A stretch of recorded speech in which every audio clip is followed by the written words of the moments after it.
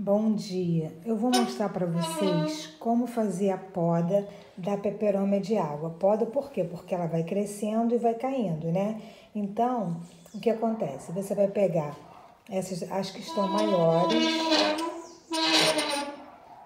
É, o que que acontece? As que estão maiores, eu passo para essa aqui que é maior, essa jarra que é mais alta. Por quê, gente?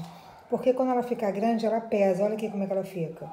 E esse, esse, esse recipiente é pequeno. O que, que você faz? Você, se você não tiver um local para você colocar isso aqui, você vai simplesmente cortar. Vou mostrar para vocês aqui. Aqui, gente, olha. Essas daqui, vocês lembram desse arranjo pequenininho, que eram, eram tudo pequenas, né? Os arranjinhos. O que aconteceu?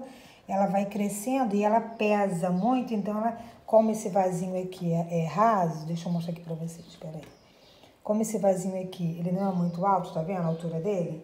Então, o que acontece? Ela vai cair, olha aqui, ó. Ela vai ficar caída, porque ela tá muito alta. O que que eu faço? Aí eu transfiro para esse aqui, que é essa... Deixa eu mostrar aqui também para vocês, que é uma... Eu já tenho esse... Já até mostrei esse vídeo aqui para vocês. É uma jarrinha que eu tenho aqui dentro.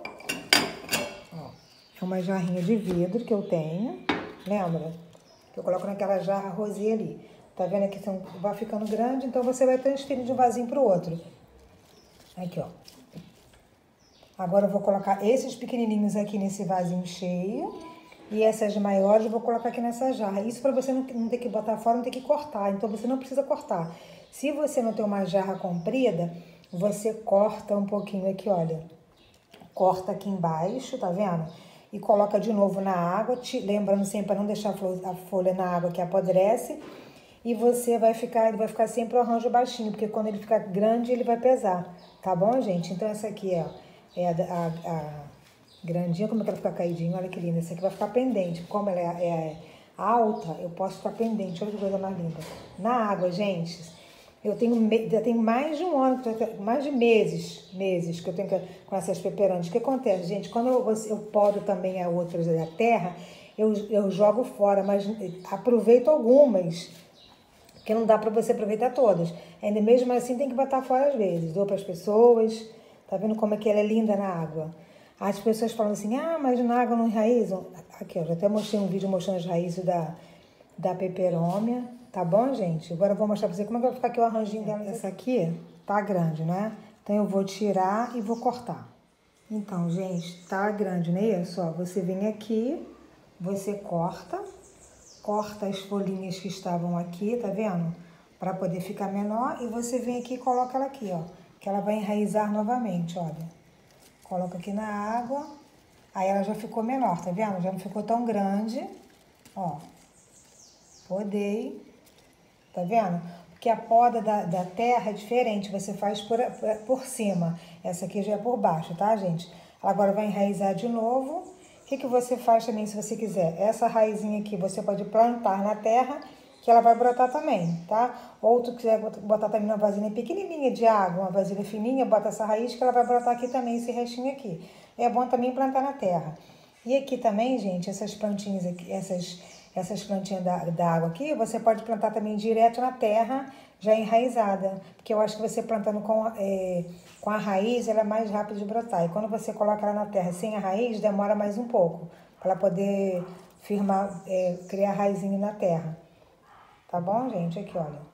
Aí você vai pegar as grandes, né? Vai colocar aqui. Tá vendo? Eu coloquei aqui. Se você também, gente, não tiver uma outra jarra, tiver uma comum também, pode deixar com essa jarrinha também branca que fica bonita, tá vendo? Que linda. Deixa eu rodar aqui pra vocês. Então, gente, quando você podar suas peperômias também, você não precisa jogar fora, que ela tem que ser podada, que ela fica muito grande. Você vem aqui, coloca e reaproveita, olha. Como é que você já arranja pequenininho. Olha como é que fica lindo, gente. Muito lindo, né? E olha como elas são bonitas, gente. Olha, as folhinhas novas. Aqui, essa aqui também, que linda. A minha, gente, vou ser sincera, eu, eu também prefiro mais na água do que na terra. Pra dentro de casa, pra você botar assim na, na, na jarra. Agora eu vou colocar nessa jarrinha aqui dentro, olha. Eu coloco essa jarra aqui dentro. Só para mostrar para vocês como que vocês fazem quando ela começa a crescer, não saber o que fazer, entendeu? Então você faz isso coloca, tira, coloca uma jarrinha mais comprida, tá bom? Lembrando também, gente, que eu coloco de 20 dias, às vezes até 30 dias, aquele fertilizante 10-10.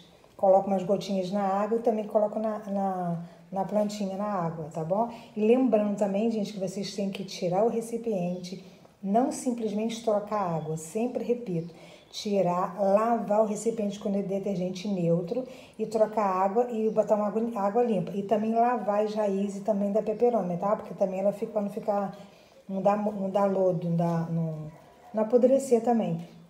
E também cuidado para não deixar a folhinha dentro da água, que também apodrece. Que muita gente também fala que apodrece, então vou esse detalhe também que eu já percebi isso também, tá, gente? Então, para vocês gostaram, tá vendo? Vamos lá dar um like. Lembrando que todos os dias eu coloco vídeos no canal de várias dicas. Recente coloquei agora também como que fazer das, delas peperões na terra que estavam morrendo. Eu replantei, tirei a terra, botei novas terras com adubo e ficou também muito linda. Tá também no canal para você ver como que ela tá ali. Três meses após eu coloquei como que elas ficaram. Então, assim, mais dica para vocês, tá bom, gente? Beijinho. Se você não se inscreveu no canal, se inscreve ainda. Cada dia tem uma novidadezinha para você, mais dicas.